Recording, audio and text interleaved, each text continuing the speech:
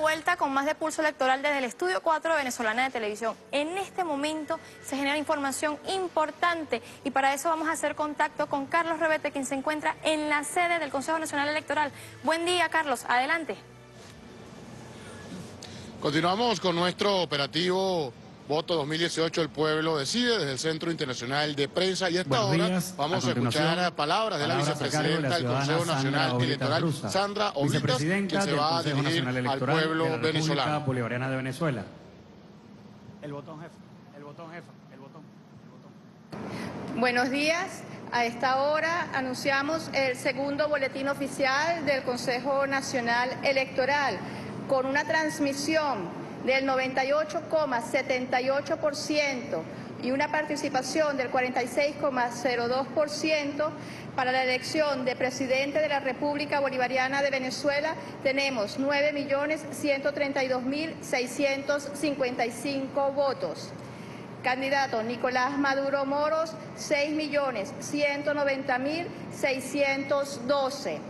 Henry José Falcón Fuentes, 1.917.036 votos. Javier Alejandro Bertucci Carrero, 988.761 votos.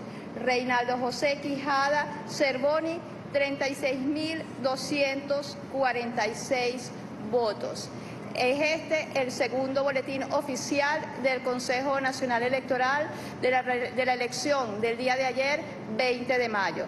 Muchísimas gracias el Consejo Nacional Electoral. Escuchábamos palabras de la vicepresidenta del Poder Electoral, Sandra Olita, quien ha dado a conocer este segundo boletín donde se han incrementado las cifras en relación a lo conocido en la noche del 20 de mayo. Estamos hablando de un total de 9 millones y un poco más de votantes en lo que fue el proceso electoral. Hablamos de quienes ejercieron su derecho al sufragio durante la jornada de ayer y para el candidato por el Frente Amplio de la Patria y reelegido como presidente de la República Bolivariana de Venezuela, Nicolás Maduro Moro. Estamos hablando de 6.190.000 votos. De igual manera, para el eh, candidato por avanzada progresista, Henry Falcón, se dio a conocer eh, la cifra que el día de ayer estaba en 1.800.000 votantes. Bueno, subió a 1.900.000 votantes en lo que es este segundo boletín dado a conocer por la vicepresidenta del máximo ente comisión. Nosotros estaremos muy pendientes de lo que sigue ocurriendo acá en el Centro Internacional de Prensa,